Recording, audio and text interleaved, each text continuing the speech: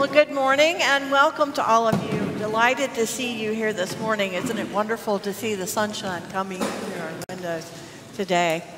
It's a wonderful day. So glad that you are here. We have a few things that are going on as we continue to move through Lent, including this Tuesday, our final, uh, is it, I'm sorry, it's Thursday, isn't it? Thursday, our final um, conversation with uh, with our neighbors at Beth Ahabah. That will be that conversation will be here, yes. led by us. Um, sorry, I'm going to actually not be there, so I can't remember all the details. But anyway, you should come to that, even if you have not been able to come to uh, to any of the others. Each one of the the uh, conversations has been standalone. It's a wonderful thing that we're doing. On Wednesday night, we'll have dinner as usual and also a gathering of women to talk about womankind. Womankind is celebrating its 20th year. And while it needed to go on hiatus for a little while during the recent unpleasantness, we are now uh, back in action and hoping to, um, to be able to move into 2026 with a big program and of course a couple of events that we are doing this year in 2024. So please come if you can for that conversation on Wednesday night.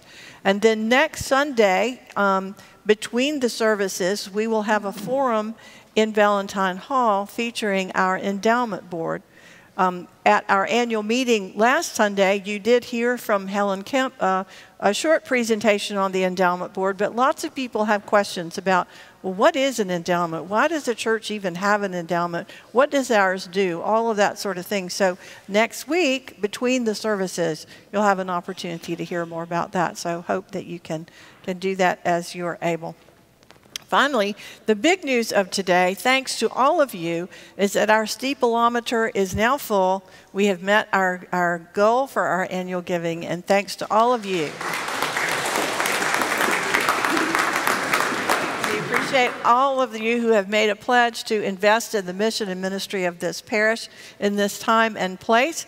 And also, as George Booth, our treasurer, said, you can give more than your pledge. Again, welcome. We're so glad that you're here. Ascribe to the Lord the honor due his name. Bring offerings and come into his courts.